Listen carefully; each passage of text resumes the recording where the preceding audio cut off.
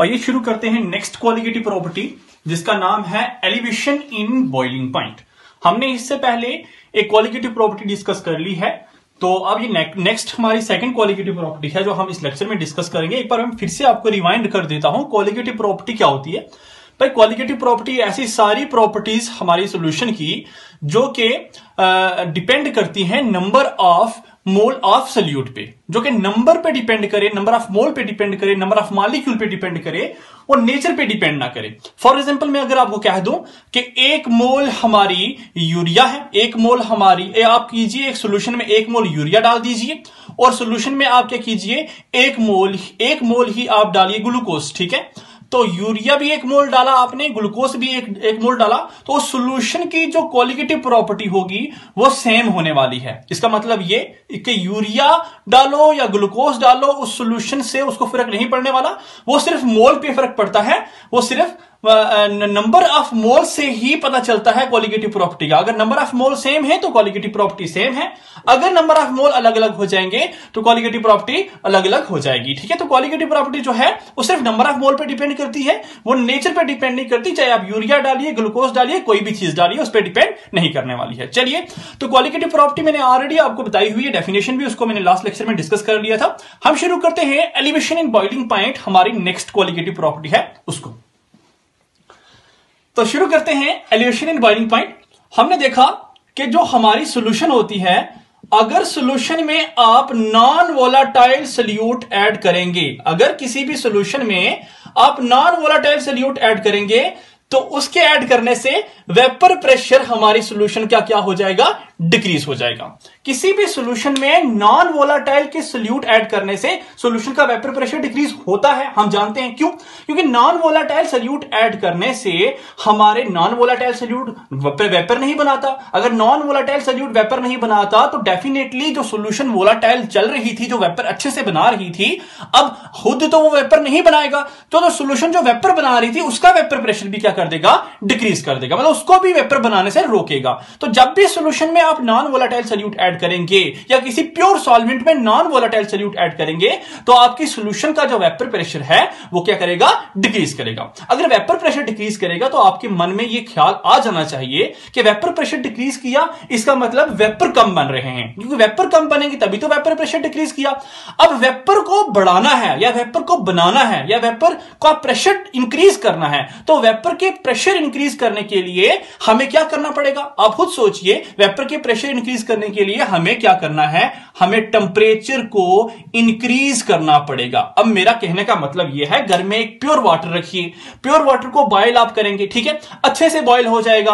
अब एक एक चूल्हे पे आप प्योर वाटर रखेंगे और दूसरे चूल्हे पे आप प्योर वाटर के साथ साथ चीनी डालेंगे, ठीक है? तो वो वाला चूल्हा जिसपे आपने प्योर वाटर रखा है, वो वो जल्दी बॉयल करेगा, वो जल्दी बॉयल हो जाएगा। और जिस वाटर में आपने चीनी डाली है, वो लेट बॉयल होगा। क्यों?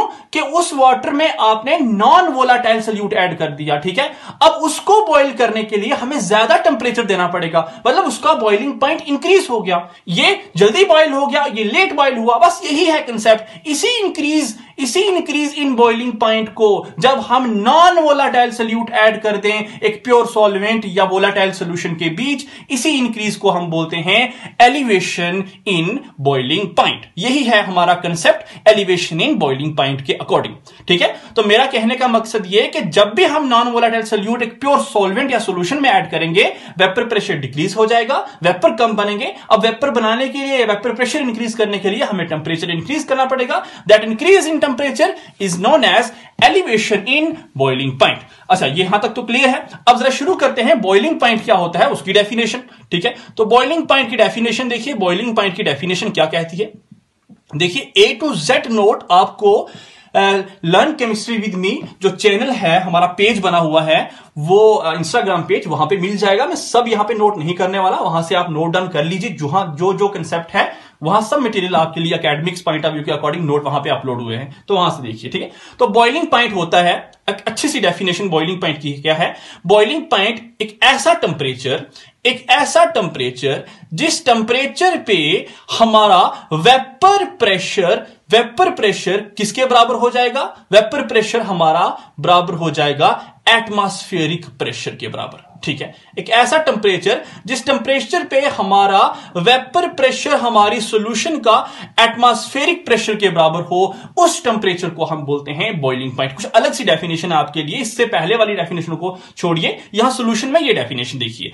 बॉइलिंग पॉइंट ऐसा पॉइंट या ऐसा टेम्परेचर जिस टेम्परेचर पे हमारे सॉल्यूशन का वेपर प्रेशर एटमॉस्फेरिक प्रेशर के बराबर हो, उस टेम्परेचर को हम बोलते हैं बॉइलिंग पॉइंट जरा समझने की कोशिश करेंगे इस बात को. फॉर एग्ज़ाम्पल आपने बीकर है, आपने एक बीकर लिया, और बीकर को आपने क्या किया? यहाँ तक फिल किया हुआ है पानी के साथ. ये सारे के सारे वाटर मालिक्यूल है, ठीक है? यहाँ तक आपने फिल किया हुआ है इस बीकर को. बीच में पूरा भरा हुआ है, ठीक है? एंड तक भरा हुआ है बीकर अब इस बीकर को आप करेंगे हीट इस बीकर को आप नीचे से हीट कर रहे हैं। हीट करेंगे। अब हीट कर रहे हैं कंटिन्यूसली हीट कर रहे हैं। अब स्टार्टिंग में आपको क्या लगता है कि दो मिनट बाद या एक मिनट बाद या दस सेकंड पंद्रह सेकंड बाद पानी बॉइल हो जाएगा? ऐसा तो नहीं हो सकता। ऐसा नहीं होता। कारण क्या है? बिकॉज़ पानी को इतनी एनर्जी नहीं मिली। पानी को इतनी हीट एनर्जी नहीं मिली। तो दैट्स वाई पानी बॉइल नहीं हुआ। या आप ऐसा बोल दीजिए कि पानी का जो वेपर बनाने का प्रेशर है, वो कम है। किससे? इसके बाहर एटमॉस्फेयर है और एटमॉस्फेरिक गैसेस का प्रेशर होगा। एटमॉस्फेरिक गैसेस का बाहर से प्रेशर है। एटमॉस्फेरिक गैसेस बाहर से प्रेशर अप्लाई कर रही हैं और अंदर का पानी का वेपर प्रेशर कम है। वेपर प्रेशर इसका कम, इसका प्रेशर ज़्यादा। दैट्स वाई अंदर से वाटर के मालिक्यूल बाहर नहीं जा पा रहे हैं। लेकिन एक वक्त ऐसा आएगा जब हमारे वाटर का जो वेपर प्रेशर होगा, वो ऑलमोस्ट इक्वल हो जाएगा। इक्वल से बात होना शुरू हो जाएगी। ऑलमोस्ट इक्वल या वेपर प्रेशर हमारे वाटर का एटमॉस्फेरिक प्रेशर से ज़्यादा हो जाएगा। जैसे ही हमारे वाटर का वेपर प्रेशर एटमॉस्फेरिक प्रेशर से ज़्यादा हो गया, हमारे वाटर के मालिक्यूल लिक्विड की सरफेस से एवेपोरेट करना शुरू कर देंगे। क्यों? क्योंकि एटमॉस्फेरिक प्रेशर अब कम हो गया है। अब वेपर का प्रेशर ज़्यादा हो गया है। तो वेपर प्रेशर जब भी इक्वल हो जाए, हमारे लगभग इक्वल हो जाए हमारे एटमॉस्फेरिक प्रेशर के या इक्वल से थोड़ा ज़्यादा हो जाए तो हमारा आ, हम बोल सकते हैं कि हमारा बॉइलिंग पॉइंट आ गया या हम बोल सकते हैं कि हमारे वेपर बनना शुरू हो गए हैं। तो यह है बॉइलिंग पॉइंट का यहाँ पे कंसेप्ट जब भी वेपर प्रेशर एटमॉस्फेरिक प्रेशर से बढ़ गया या इक्वल हो गया ऑलमोस्ट तो that that point is known as boiling point I hope ये क्लियर हुआ होगा आपको। तो चलते हैं ग्राफ बनाते हैं यहाँ पे। एलिवेशन एंड बॉइलिंग पॉइंट का एक ग्राफ बनाते हैं और देखते हैं जरा ग्राफिकल रिप्रेजेंटेशन करके कि हमारी एलिवेशन इन बॉइलिंग पॉइंट है क्या एक्चुअल में। देखिए, मैं क्या करता हूँ, मैं अच्छा आराम से समझने की कोशिश करेंगे आप। मैं ग्राफ बनाता हूँ यहाँ पे। ठीक है, देखिए आप। मैं ग्राफ बना रहा हूँ यहाँ पे। लाइन थोड़ी स्ट्रेट कीजिए। ग्राफ बना रहा हूँ, ये, इस एक्सिस पे मैं लेता हूँ वेपर प्रेशर को। इस एक्सिस पे मैं ले रहा हूँ वेपर प्रेशर और इस एक्सिस में मैं ले रहा हूँ टेम्परेचर और टेम्परेचर आपको कैलविन में लेने हैं, ठीक है? इस एक्सिस पे टेम्परेचर है और इस एक्सिस पे वेपर प्रेशर है। अच्छा जी। अब आप जानते हैं कि आपका सॉल्वेंट जो है प्योर सॉल्वेंट ठीक है? प्योर सॉल्वेंट जो आपका सॉल्वेंट होगा प्योर सॉल्वेंट उसका टेम्परेचर जब भी आप बढ़ाएँगे तो उसके वेपर बनेंगे। उसके वेपर बढ़ेंगे। उसके वेपर जब बढ़ेंगे, उसका वेपर प्रेशर भी इंक्रीज होगा। तो वेपर प्रेशर और प्योर सॉल्वेंट का ग्राफ ऐसा हो सकता है आराम से। ठीक है? आप ये मत सोचिए कि ग्राफ ऐसा होगा।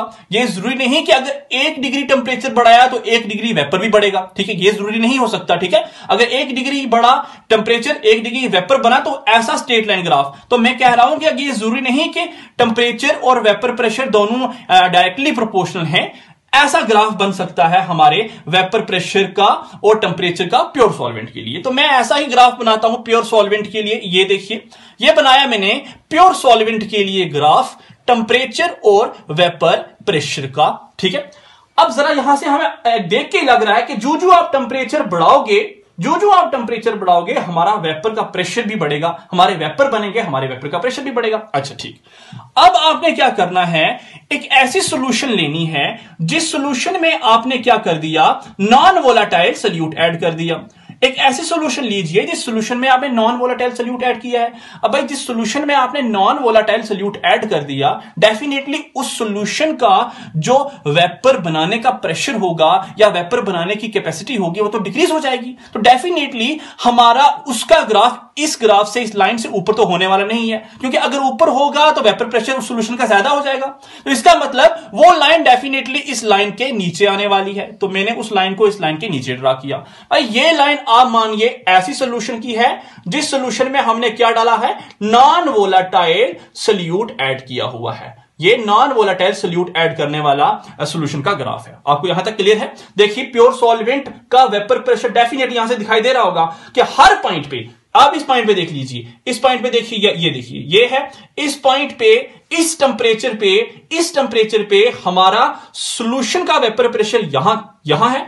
और इसी टेम्परेचर पे आप देखिए, हमारे प्योर सॉल्वेंट का वेपर प्रेशर यहाँ पे है। इस टेम्परेचर पे आपको दिखाई दे रहा है कि हमारे प्योर सॉल्वेंट का वेपर प्रेशर ज़्यादा है। और कोई टेंपरेचर उठा के देख लो। इस टेंपरेचर पे देख लो। इस टेंपरेचर पे हमारी सोल्यूशन का वेपर प्रेशर ये है और हमारे प्योर सॉल्वेंट का वेपर प्रेशर ये है। किसी भी पॉइंट पे हमारी सोल्यूशन का जो वेपर प्रेशर है, वो कम है एज कंपेयर टू हमारे प्योर सॉल्वेंट उसका कारण यह सोल्यूशन में नॉन वोलाटाइल सोल्यूट एड कर दिया है। क्लियर है यहाँ तक? चलिए अब हम क्या करते हैं? मान लेते हैं कि इस जगह पे, मान लेते हैं, हम अब लेट करके मान लेते हैं कि इस जगह पे हमारा प्रेशर वन एटमॉस्फेरिक प्रेशर के बराबर है। इस जगह पे हमारा प्रेशर वन एटमॉस्फेरिक और वन एटमॉस्फेरिक प्रेशर ही तो होता है एटमॉस्फेरिक प्रेशर हाँ वही तो होता है। तो यही तो है हमारा एटमॉस्फेरिक प्रेशर तो हम इस लाइन को खींच के ले आए यहाँ पे, यही है एटमॉस्फेरिक प्रेशर अब देखिए प्योर सॉल्वेंट का वेपर प्रेशर प्योर सॉल्वेंट का वेपर प्रेशर हाँ प्योर सॉल्वेंट का वेपर प्रेशर एटमॉस्फेरिक प्रेशर के बराबर यहाँ पे है। प्योर सॉल्वेंट का वेपर प्रेशर एटमॉस्फेरिक प्रेशर के बराबर यहाँ पे हुआ, ठीक है? और ये टेम्परेचर देखिए, ये टेम्परेचर और ये टेम्परेचर है, हो गया, जिस टेम्परेचर पे हमारा प्योर सॉल्वेंट वेपर बनाना शुरू हो गया। ये टेम्परेचर हुआ, जिस टेम्परेचर पे प्योर सॉल्वेंट ने वेपर बनाए और हम बोल सकते हैं this temperature is known as boiling point TB boiling point of pure solvent के लिए नॉट लिख ली TB nought this temperature is known as boiling point of pure solvent clear है? अच्छा। अब सोल्यूशन वो वाली सोल्यूशन जिसमें नॉन वोलाटाइल सोल्यूट ऐड किया हुआ है। नॉन वोलाटाइल सोल्यूट ऐड करने वाली सोल्यूशन का atmospheric atmospheric sorry vapour pressure atmospheric pressure के बराबर इस स्टेज पे हुआ, इस पॉइंट पे हुआ।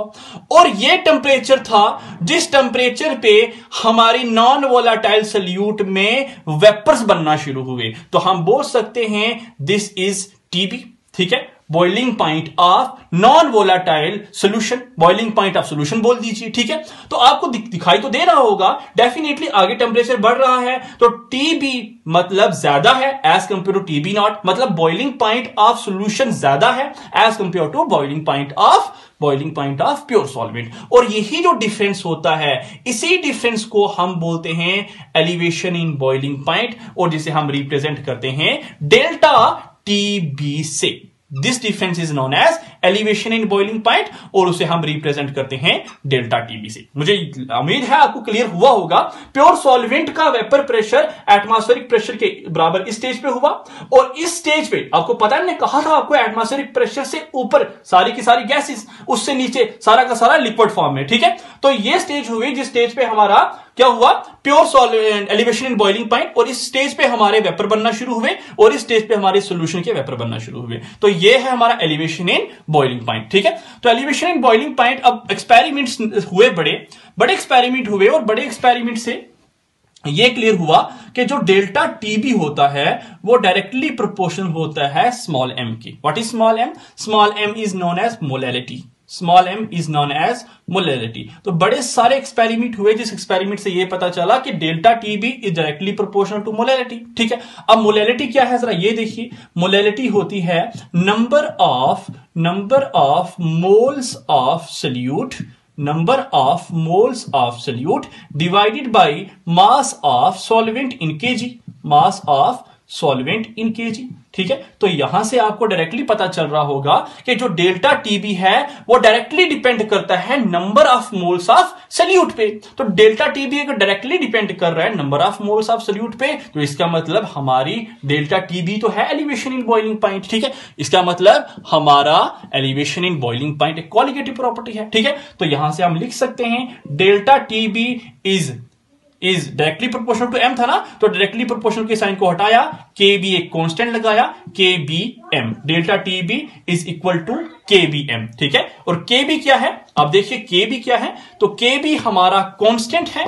के बी है हमारा कॉन्स्टेंट जिसको हम बोलते हैं मोलल एलिवेशन कॉन्स्टेंट के भी है हमारा कांस्टेंट और इसको बोलते हैं मोलल एलिवेशन कांस्टेंट ठीक है? एक और नाम भी है एलिवोस्कोपिक कांस्टेंट वो रहने दीजिए।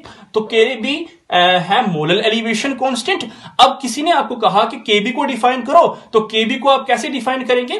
तो केबी को हम डिफाइन करेंगे इस तरीके से, देखिए। केबी को हम डिफाइन करेंगे केबी क्या है? केबी को हम डिफाइन करेंगे कि जब आप मोलैलिटी लेट कीजिए एम मोलैलिटी को आप पुट कीजिए वन मोलैलिटी को आपने वन पुट किया तो डेल्टा टी बी किसके बराबर आया? के बी के बराबर, या के बी किसके बराबर आया? डेल्टा टी बी के बराबर आया. तो यहाँ से हम यह बोल सकते हैं कि हमारा molal elevation constant K B हा, molal elevation constant is equal to elevation in ये delta TB elevation in boiling point था। Molal elevation constant is equal to elevation in boiling point when molality of a solution is taken as unity या one ठीक है? तो ये है molal elevation constant constant की definition तो elevation in boiling point कि हमने सारा का सारा थ्योरेटिकल पॉइंट हमने खत्म कर दिया। मोर एवर एक और बात याद रखिए डेल्टा टीबी किसके बराबर होता है? Delta TB elevation in boiling point किसके बराबर है? मैंने ग्राफ बनाया अभी। मैंने बताया आपको कि ये टीबी है, ये टीबी नॉट है, और यही होता है हमारा डेल्टा टीबी तो डेल्टा टीबी हमारा होता है टीबी माइनस टीबी नॉट के बराबर, ठीक है? तो ये है दूसरा फॉर्मूला तो अब थ्रियटिकल पॉइंट हमने सारा खत्म कर दिया। अब हम शुरू करते हैं इसको डिराइव करना। ये फॉर्मूले जिससे हम निकालेंगे, सारी की सारी डेरिवेशन करते हैं। उसके बाद मालिकुलर मास भी हम कैलकुलेट करेंगे इसका। चलिए। जितना ज़्यादा वेपर प्रेशर की लवरिंग होगी, उतना ही हमारा एलिवेशन होगा बॉइलिंग पॉइंट का। मानते हैं आप इस बात को? जितना वेपर जितना वेपर का प्रेशर डिक्रीज होगा या जितना आप नॉन वोलाटाइल सल्यूट ऐड करेंगे, उतना वेपर प्रेशर डिक्रीज और जितना वेपर प्रेशर डिक्रीज होगा, उतना हमें ज़्यादा बॉइलिंग पॉइंट उसका बढ़ाना पड़ेगा उसके वेपर को बनाने के लिए। तो यहाँ से यह क्लियर हुआ कि जो डेल्टा टी बी है जिसे हम बोलते हैं एलिवेशन इन बॉइलिंग पॉइंट वो डायरेक्टली प्रोपोर्शनल है किसके? वो डायरेक्टली प्रोपोर्शनल है हमारे प्रेशर के चेंज इन प्रेशर के। तो ये हुआ पॉइंट नंबर फ़र्स्ट इसे मानिए आप इक्वेशन नंबर फ़र्स्ट हमने राउट्स लॉ से पढ़ा है, याद होगा अगर आपको राउट्स लॉ में हमने देखा है कि पी ए किसके बराबर है? पी ए हमारा था P A nought zeta A के, इसी तरीके से पी बी हमारा P nought B zeta B के बराबर है। तो हमें यहाँ से पता है कि जो हमारा प्रेशर है चेंज इन प्रेशर वो किसके बराबर है? डायरेक्टली प्रोपोर्शनल है हमारे किसके? मोल फ्रिक्शन के, ठीक है? तो राउट लॉ के अकॉर्डिंग हमने ये भी चीज़ देखी हुई है P B is equal to P nought B zeta B तो ये है ना P B is directly proportional to zeta B तो राउट लॉ के अकॉर्डिंग हमने ये जाना हुआ है कि जो हमारा चेंज इन प्रेशर या प्रेशर होता है या वेपर प्रेशर होता है, वो zeta B that is mole fraction of B के बराबर है। इस इक्वेशन को आप मानिए इक्वेशन नंबर सेकंड अब on equating equation number first and second आपको दिखाई दे रहा है कि डेल्टा पी डेल्टा बी बराबर है तो ये भी तो बराबर होगा, ठीक है? तो यहाँ से हम कंक्लूड करेंगे डेल्टा पी किसके बराबर है? डेल्टा पी डायरेक्टली प्रोपोर्शनल है हमारे जीटा बी के बराबर, ठीक है? अब डायरेक्टली प्रोपोर्शनल के साइन को हटाइए तो डेल्टा टी बी किसके बराबर होगा? हाँ डेल्टा टीबी किसके बराबर होगा? तो डेल्टा टीबी हमारा डायरेक्टली प्रोपोर्शनल के साइन को हटाया के लगाया कांस्टेंट के जीटा बी तो ये हुई हमारी इक्वेशन इक्वेशन नंबर इसे आप थर्ड मानिए ठीक है? के है यहाँ पे कांस्टेंट अब जरा हम जानते हैं कि जो जीटा है, जीटा होता है मोल फ्रैक्शन। बात चल रही है बी बी किसके लिए हम लिखते थे? बी हम सल्यूट के लिए लिखते थे। तो जीटा बी किसके बराबर होगा? Zeta B that is mole fraction of solute है। तो मोल फ्रैक्शन ऑफ़ सल्यूट है number of mole of solute divided by number of mole of solution और सोल्यूशन में एन वन और एन टू दोनों होता है, ठीक है? तो आपको जीटा बी की जगह ये पुट करना है। तो delta T B is equal to K K into N two divided by N one plus N two, clear है? इक्वेशन नंबर फोर्थ मानिए आप इसे। अब हम जानते हैं कि क्वालिटेटिव प्रॉपर्टी जो होती हैं, वो नॉन वोलाटाइल सॉरी वो होती हैं ऐसे सॉल्यूशन की जो कि डाइल्यूट सॉल्यूशन हो, ठीक है? तो डाइल्यूट सॉल्यूशन में हम क्या करते हैं? अपने सल्यूट को नेग्लेक्ट कर देते हैं या निग्लिजिबल मानते हैं। तो हमने क्या करना है? एन को यहाँ नेग्लेक्ट करना है। ऑलरेडी मैंने बताया भी है आपको, ठीक है? तो डेल्टा टी बी इसके बराबर होगा। Delta T B is equal to K into N two divided by N one clear है? यहाँ तक? चलिए, इसके आगे हम देखते हैं आगे क्या है। इक्वेशन नंबर फाइव मान लो जिससे ठीक है? अब जरा देखिए, हम जानते हैं कि ये N2 और N1 क्या है, ठीक है? N1 है number of mole of solvent N2 है number of mole of solute तो N1 के लिए number of mole of solvent है तो नंबर ऑफ़ मोल्स किसके बराबर होता है? नंबर ऑफ़ मोल होता है मास या वेट अपॉन मालिकुलर मास तो N1 है तो mass of solvent divided by molecular mass of solvent बस एन वन को आप ले आइए, इस इक्वेशन में पुट कीजिए। तो delta TB delta TB is equal to K into N two divided by N one की जगह आपने पुट करना है W one divided by M one हो गया क्लियर ठीक है? इक्वेशन नंबर आप मानिए इसे फाइव सिक्स हाँ इक्वेशन नंबर सिक्स होगी इसके बाद आप देखिए डेल्टा टीबी किसके बराबर है? Delta TB is equal to K अब इसको लिख सकता हूँ मैं ऐसे N two divided by W one into M one बस इसी इक्वेशन को मैंने लिखा ये है N two N two W one W one और ये एम वन है, ऊपर चला गया एम वन हो गया। ठीक है? इक्वेशन सिक्स है इक्वेशन नंबर सेवन देख लीजिए। ठीक है? अब जरा देखिए गौर से, ये चीज़ क्या है? यहाँ पे ये चीज़ क्या है? N number of moles two number of moles of solute N two number of mole of solute divided by mass of solvent number of mole of solute divided by mass of solvent यही तो होती है हमारी molality. इसी को तो हम बोलते हैं मोलैलिटी। तो N two divided by W one is equal to M और यही है हमारी मोलैलिटी। और इसी एम को आपने इक्वेशन नंबर सेवन में जैसे ही पुट करना है तो आएगा delta T B is equal to K small M multiply by M one ठीक है? इक्वेशन नंबर एट बन गई। यह है हमारी इक्वेशन नंबर एट क्लियर है? चलिए। अब जरा देखिए इसके आगे हम कंटिन्यू करते हैं। Delta D B is equal to K into M multiply by M one हो चुका। चलिए, अब हम जानते हैं कि के क्या है। के है हमारा कांस्टेंट मानते हैं आप इस बात को? मैंने बोला, और और देखिए एम वन क्या है? यहाँ पे एम वन क्या है? एम है हमारा मालिकुलर मास ऑफ़ सॉल्वेंट और सॉल्वेंट का मालिकुलर मास किसी किसी किसी सॉल्वेंट के लिए कांस्टेंट होता है। हर सॉल्वेंट के लिए कांस्टेंट होता है। भाई वाटर का मालिकुलर मास कांस्टेंट है, अपना है। अब ज़रूरी थोड़ी है कि इस वाटर का कुछ मालिकुलर मास कुछ और होगा, किसी और वाटर का मालिकुलर मास कुछ और होगा। वाटर का मालिकुलर मास ही 18 होता है, ठीक है? तो वो तो कांस्टेंट है, ठीक है? तो m1 भी यहाँ पे क्या है?